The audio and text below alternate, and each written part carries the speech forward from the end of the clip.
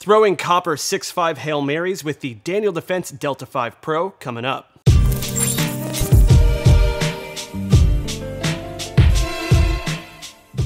What is up, guys? My name is John with PewPewTactical.com, your definitive source for gun reviews, gear guides, and all things that go. Yeah. It's like that. Ask anyone with either a monetary or emotional investment into long range shooting, and you're probably gonna get some kind of similar answer. Long range stuff is entirely a beast of its own, as compared to the shorter or intermediate ranges probably a lot of us are more comfortable with. And that's largely just due to the fact that there are so many more variables that come into play the further out that you attempt to lob a projectile. If, like me, you've never really had the opportunity to stretch your rifle's legs, as it were, it can be a lot to take in at once, as atmospheric conditions like wind, temperature, humidity, and so forth all begin to matter, necessitating taking them into account and adjusting your optic accordingly if you really want to manage consistent hits at a distance. With that being said, it feels a little bit strange to present a review of a rifle that's specialized for a type of shooting I'm not super comfortable or experienced with. As compared to giving you rundowns or overviews of a million different kinds of AR-15, this is very squarely outside of my wheelhouse. As a result, we've decided to essentially present two points of view with regards to the Delta 5 Pro, and let you decide who to listen to. There's going to be my POV, which is very much feature and experience oriented as someone approaching this type of shooting while relatively green. And then there's going to be that of our head long range guy, David, evaluating the rifle on its merits as related to the specific competition oriented background that ostensibly breathed the D5P into life. With all of that out of the way, let's dive right in. That's weird. Daniel Defense advertises the Delta 5 Pro as being a seamless melding of out-of-the-box performance with the kind of features that you'd normally have to drop a pretty penny to obtain through aftermarket upgrades, and specifically notes that whether you're a serious long-range competition shooter or a weekend warrior looking to up your street cred, the D5P has something for you. Boldly, Daniel Defense claims that this rifle will shoot 0.5 MOA at 100 yards with a three-shot group, claiming that the science has proven if they can do it, so can I, we, you, which just tells me that they haven't seen any of my previous groups before. While there are a few different options in terms of caliber and barrel length, we've got the 24-inch 6.5 Creedmoor variant here, but all of the models are going to have some key features in common. Starting from front to back, the gun's got a damn hefty Area 419 muzzle brake mounted on Daniel Defense's 1 in 8 twist 6.5 Creedmoor barrel. Forged from a proprietary blend of steel and featuring a Cerakote finish for protection from the elements. The barrels on the Delta 5 system are also interchangeable, meaning that you can swap between calibers using the same chassis if you need or want to do that for whatever reason. The gun's got a mechanically bedded stainless steel action with an integral recoil lug, a 3 lug bolt with a 60 degree throw, and a floating 5 16 to 24 inch removable bolt knob. The entire package is riding pretty within this sleek Area 419 chassis, with a forend that features three M-LOK mounting slots at the 11, 12, and 1 o'clock positions, and additional M-LOK slots that run the full length of the forend at the 3, 6, and 9 o'clock positions. Of particular note is the Arca rail also built into the full length of the forend, which gives you a rock-solid platform for mounting accessories like the Atlas bipod attached here with an Area 419 clamp. The trigger is an adjustable, single-stage Timney Elite Hunter with a two-position safety, and the chassis features an AR-15 grip mounting block that should be compatible with most standard AR pistol grips out there, but is obviously sporting the same rubberized DD grip found on their M4V7 that we reviewed a while back, but sans the integrated trigger guard. Your mag release is a sort of dual paddle system that ejects the mag when pressed downwards, and it's located right between the magazine well and the trigger guard. The gun comes with one 10 round 7.62 AICS mag, and it should be compatible with other similar magazines, but more on that later.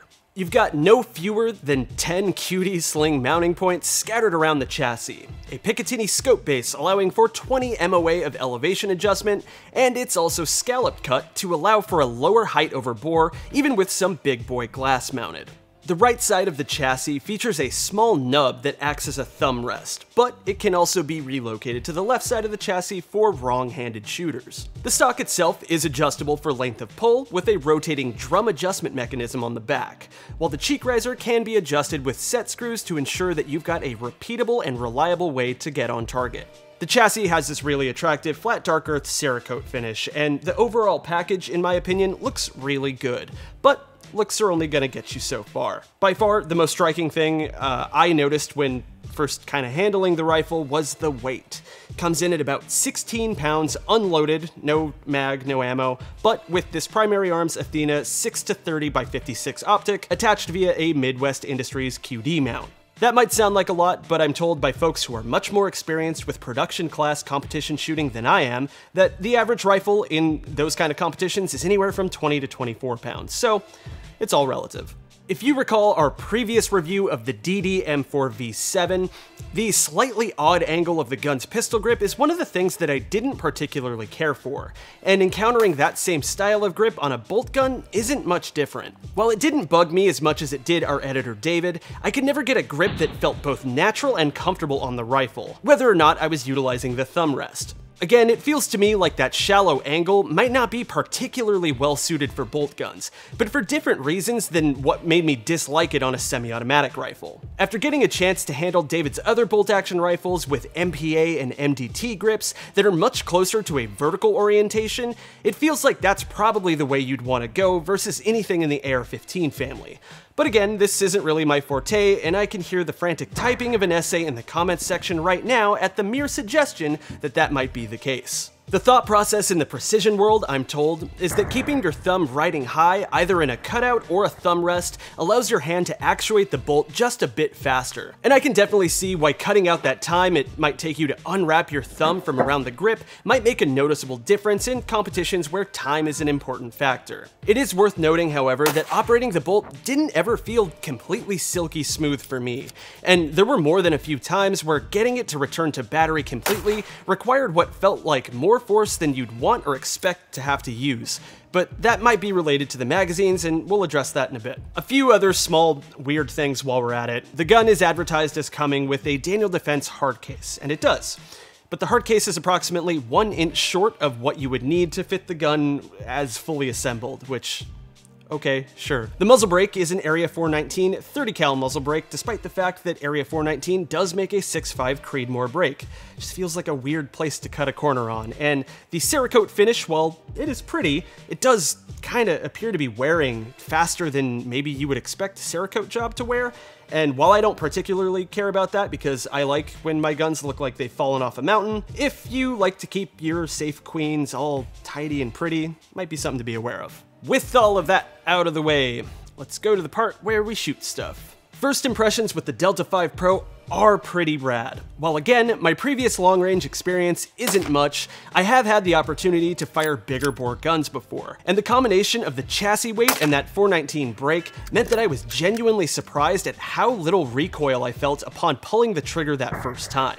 During the course of putting the D5P through its paces, we easily chewed through a couple hundred rounds, and the experience was altogether pretty enjoyable and absolutely nowhere near as punishing as that time the M14s tenderized my shoulder meat for a video that the internet still hasn't stopped screaming about. On our initial run with the gun, we posted up and were able to consistently ring steel at about 330 yards or so, using a variety of 6.5 ammunition. Despite its weight, the gun is also quite balanced, and shooting off of a bipod, the built-in barricade rest, or just jamming the forend into some shitty crags felt solid and stable. Again, just due to the amount of work that that 419 brake is doing, it was also possible to watch your shot sail in via the optic mounted on the rifle alongside your spotter, as the lack of muzzle climb made it quite easy to maintain your sight picture and make adjustments for quick follow-ups if your shot was off. As far as DD's claim about half MOA accuracy, it does indeed appear to hold up, as David was able to shoot a .39 MOA 3-shot group with Hornady 140 grain ELDM. We grouped the rifle a second time out in the desert with slightly shittier wind conditions and hit 1.01 MOA with a 6-shot group, again with Hornady ELDM. And while there's something to be said about rifle manufacturers choosing to certify their accuracy results with a 3-shot group instead of 5, the Delta 5 Pro can indeed shoot in the hands of a reasonably skilled shooter. As mentioned, the guns included AICS PMAG worked reasonably well, but we did run into a handful of hiccups with the bolt not picking up a round despite what felt to me like a complete cycling of the bolt. And I did somehow manage to cause a bolt override in a bolt action rifle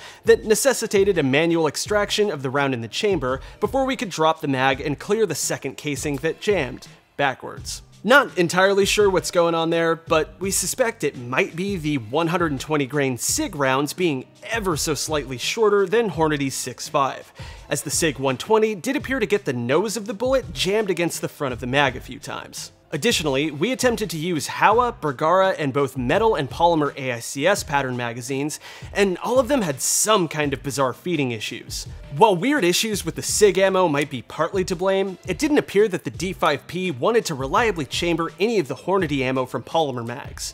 Metal magazines wouldn't ever really pick up the last round, so on and so forth, you get the idea.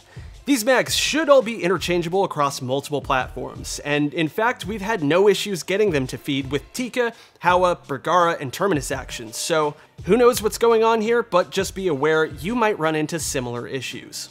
However, it didn't seem quite appropriate to shoot a dedicated long-range platform at 300 yards and call it a day. So we devised a means to eke out as much range as possible out of the spot that we normally shoot in, which unfortunately involved shooting across a canyon out to 950 yards or so. The results here were pretty gnarly, but this really isn't the gun's fault so much as it is a compiling list of conditional circumstances. To avoid our rapidly approaching hell weather, we managed to get out to the desert and set up by dawn, but unfortunately this meant that as the sun came up, we were shooting across multiple different areas that were all heating up at different rates as the sun gradually begins to bake them. And this made for some wildly inconsistent shots using the same holds, where we'd hold the same point of aim, get a miss 2 mils to the right, then 1 mil to the left, then a quarter inch off the target, then one mil high, then a mil low. You get the idea. Again, not really the gun's fault, as initially we were shooting relatively lightweight 120 grain SIG hunting ammo across multiple turbulent regions of wind going in multiple different directions, and we were still able to land a handful of hits even if it was kinda through target saturation more than anything else. While we didn't have a ton of match ammo left at this point, we did put a mag of Hornady 140 grain ELDM through the gun, and it managed to buck the wind much better than the lighter copper ammunition, and our holds became much less extreme. Yeah! Lesson learned, if you're gonna be lobbing rounds near a thousand yards, probably don't do it with lightweight hunting ammo. Just it's hard to tell if it was high or low, honestly. That being said, there's something undeniably cool about seeing that target flinch at about half a mile and hearing that distinctive steel song race back across the canyon to your waiting ears a good three seconds later. Hit. So, all things considered, is the Delta 5 Pro worth looking into? Again, if my opinion means anything here, I did have a really fun time while putting the gun through its paces. But it's kind of hard for me to separate the experience of evaluating the gun from some of the novelty that kind of comes with being able to run that much ammo through a bolt gun, long range precision platform for pretty much the first time. Undeniably, the D5P shoots and shoots well, and once you get it all adjusted to your body's specific geometry, you can do so quite comfortably, and the half MOA accuracy, even though it's a three round group, is nothing to sneeze at. But that being said, it does feel like there are a handful of weird issues going on with the rifle that might hold it back from achieving true greatness, especially for that $2,500 price tag. But for a more thorough explanation of the features versus value, I'm gonna hand it over to our lead feature value analyst, David. My disappointment in the Delta 5 revolves around four major issues poor ergonomics, a lack of barrel and chamber options, features that fall flat, and the fact that there are a number of rivals at or below this price point that are better in almost every way. I understand why Daniel Defense used one of their AR grips on this rifle, but it was a bad choice. The thumb shelf sounds cool since it's adjustable, but I found it impossible to make an adjustment that made it comfortable to use. My knuckle is bruised up after every range session. Something that could have set the Delta 5 apart in the market is the proprietary barrels and barrel system offering easy to switch barrels at home. Sadly, Delta Defense doesn't deliver on this very well. Right now, there are only two barrel options on the DD website 308 Winchester and 6.5 Creedmoor. If you bought a 6mm Creedmoor Delta 5 Pro, they simply don't offer a replacement barrel. Since their limited chamber offerings aren't great to start, they make it worse by not even offering replacement barrels for the best PRS option they have and the option that will burn barrels the fastest. Since this is a very new production rifle, I expected the chassis to offer the best features it could, but instead, it just doesn't. The barricade stop in front of the magazine is short, the fore end is short, the grip and thumb rest are just bad, and there are no fun extras like a built-in bubble level or bag rider. You get the bare minimum, and sometimes not even that.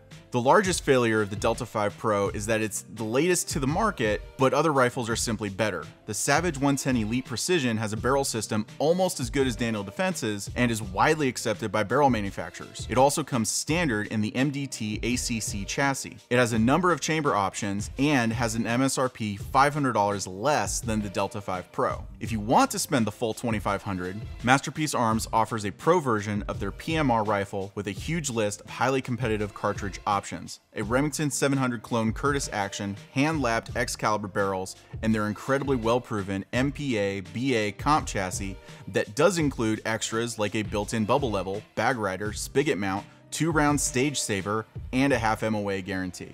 All of these things taken into account, it's hard for me to find a reason why you would pick the Delta 5 Pro over one of several other options. And there you have it. While it might be kind of strange to present two different points of view in the same video, it felt like the most honest way to go about it considering our divergence in both expertise and experience with the gun. While the Delta 5 Pro certainly isn't a bad gun by any means, you'll have to decide for yourself if that price tag is justifiable, and hopefully these candid retellings of our time with it help you do just that. Alright guys, that's gonna do it for us today. Thank you so much for watching. If you enjoyed the content, please go ahead and subscribe to the channel. Hit the bell notification, because I think that's what you have to do now to overcome the almighty algorithm. As once again, we've got lots more on the way.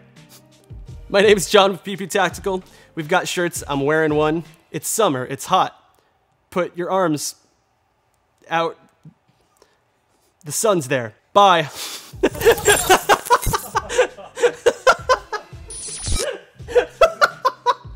Is it? Fuck!